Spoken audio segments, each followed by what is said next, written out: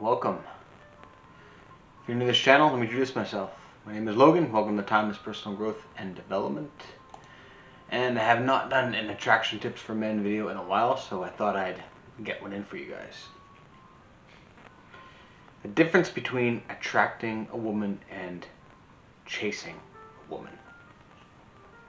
I think as guys we're bred and brought up to think the same thing. I think the same way, the same conditioning we get when we're young, when we're young kids, when we're young teens, when we're young and growing up, and we're always taught to, dude, you just gotta chase the girl. You, you gotta chase chase her down. You gotta you gotta show her how much you like her, and you just gotta chase.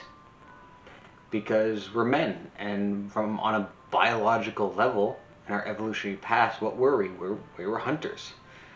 We have an innate natural instinct to chase and to hunt, right? But does that necessarily apply to dating in terms necessarily apply in terms of attraction, in terms of being an attractive man? Is chasing a woman attractive? And the answer is no. It's not. Especially especially when it goes to a very far degree and you're using so much and time and energy into focusing on this one girl to chasing down this one girl. And it's an unproductive use of your time a huge unproductive use of your time. That could be spent doing other things like making yourself attractive. Well what kind of things can you do to make yourself attractive? Well go to the gym work out start reading start building your money build your finances build your social skills learn how to talk and learn attraction skills just by talking socializing with women interacting with women and understanding little social interaction and social cues that can help trigger a woman's attraction for you. And chasing chasing someone down that you really really like can be detrimental to their attraction to you and detrimental to your time and your energy. You have better things to focus on than chasing someone who's not showing genuine interest.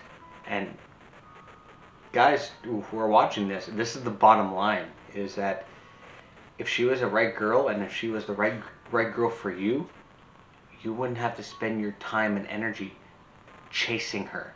And the very fact, the very act of you chasing that you have to chase shows what? What does that show you? That she is not actually genuinely interested in you. If she was, she would turn around and stop you from having to chase. You see the difference? But when you attract and learn attraction skills, there's no wasted energy. You're not wasting any time or any energy whatsoever. That you're drawing her in. When you attract her, she's showing genuine interest and genuine desire for you.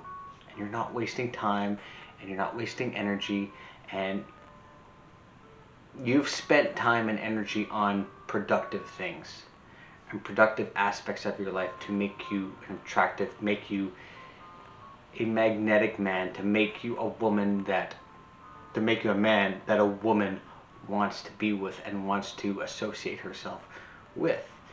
Good looking guy. You're in shape. You build your finances. You're not socially inept and you know how to talk to people. You're a leader of men. You're great with children, have great paternal instincts. You've developed those skills.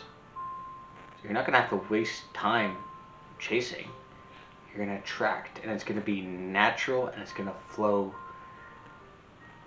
it's going to flow naturally and you're not going to have to spend any extra time showing her what kind of a great guy you are because the very fact that you have to show that is problematic in itself it shows that you're actually not an attractive man if you actually have to show her that you are the very act of you doing that communicates to her that you're not.